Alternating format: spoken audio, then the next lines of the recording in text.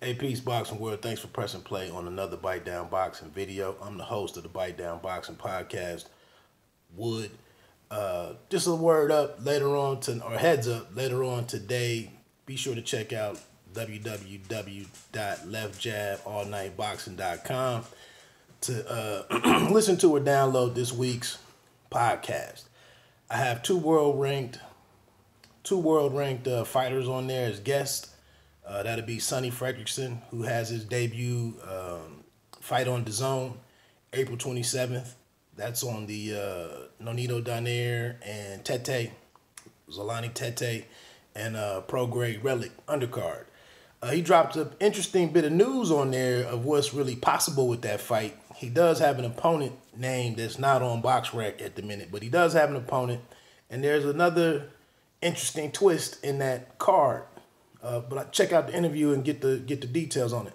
And then also, friend of the show, bantamweight, uh, IBF four number four ranked uh, bantamweight, Joshua Don't Blink Greer Jr. is also on the show, talking about some top ranked things, and then uh, as well as um, when we'll see him again, and then getting into Crawford and Khan, kind of breaking that down.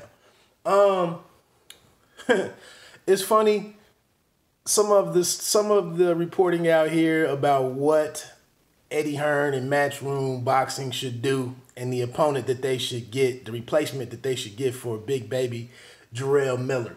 is laughable. Um, I'm you know, just because you don't respect Eddie Hearn or you don't like him, uh, you know, that doesn't mean that he has to be a complete idiot. They would be under no circumstances would you go and pick a guy like uh, Luis Ortiz. I mean, come on. He's southpaw. He's a veteran. Uh, you were you were tra- you were uh, training and getting prepared for a completely different opponent in Jarrell Baby Miller, and now to please people who don't even root for you, who don't even care for you, who don't even like you, you know, who have no nothing vested in you whatsoever you would go out here and try to make a fight with Luis Ortiz for what? To prove what? Like you don't if you're if that's what you're out here running with today, you don't you obviously don't understand the big picture, uh, you know, the the big plan, which is to get us to the uh the Wilder and um the Wilder and Joshua fight, hopefully. So it, it's just laughable. Um, I mean, and I don't even know if it would be a good deal at um at Ortiz's age, coming off of uh, the fight, you know, not too long ago with uh, Christian Hammer, um, being an older guy, you know, maybe he needs, maybe for his that type of opportunity, maybe he needs a full camp. You know, maybe it wouldn't even be fair to him, but that's a to my in my opinion that's a, a bigger fight. I mean, you would want to do it on a bigger scale, probably. Um, I, just don't even know how we would suggest that. And and this this fight was meant to be an introduction of Joshua to the U.S. market, to U.S. fight fans. So that that just seems that that seems foolish to me. Um, like I said, I, and I get into this a little bit on the podcast that'll, that'll be dropping later on tonight. But this would be the same people the same person now screaming for just fight Luis Ortiz or you need to fight Luis Ortiz. This would be the same people that if if Joshua lost and then he came back and got two victories after that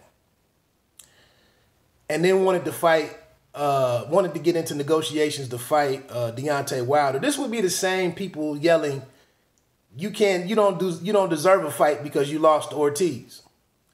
Or you know it, it, it, would be held against him somehow. And it, it would be no consideration would be given to the to the circumstances un, to, under which that uh, that loss occurred. No one would say well you know he took him on five weeks notice. You know and he was southpaw blah blah. It wouldn't even it would just be joshua doesn't deserve xyz that would be the reasoning. So um you know, we might get this Trevor Bryan, we might get Manuel Charr, we might get Michael Hunter, which is kind of my leader in the clubhouse. Um, but this isn't Joshua's fault. You know, this isn't Eddie Hearn's fault. Uh, so now to think that they should go do some knee jerk reaction to please people who have nothing vested in it, uh, That would be foolish. That would you know that would that would be completely uh completely idiotic. So um again, I keep saying from a business perspective, man, for, for some stuff that's thrown out here and completely ignores the ramifications on the business side, we obviously have a, you know, a 250, you know, maybe by the time it gets here, a $300 million fight in Wilder and Joshua. And now because of some unwritten rule or something, you know, uh, we're to risk that for a you know some 75 or 80 million dollar fight with um with um with Luis Ortiz. I mean, come on, that would that would be that would be foolish. Like where where would that be acceptable? By professionals, like guys who do this for a living. Like who who would even do that? So again, um like I said, I, and, and some of this stuff is coming from people who didn't even think, who had an issue with Miller even having to fight, and and and didn't and didn't you know didn't like that. So now it's go go make the next unreasonable uh, request. Get out of here with that, man. Like for real, get out of here with that. Hey, have a great day. Enjoy the fights this weekend. Um, honestly, I, with this whole Crawford and Khan matchup, I couldn't really get, I can't really get too excited about this fight. But uh, there's a new alternative out there for us. I believe I get into it on the uh, the podcast. Uh, with there not being an option to check out this fight at the theater, something fell through for those of us who don't want to pay that seventy dollars but still want to watch the fight. All right, man. Again, www.leftjaballnightboxing.com. Uh, check that out. It'll probably be out here available for downloader to listen to be listened to wherever you would listen to podcasts. Uh, probably in the next four hours. I'm out. Peace.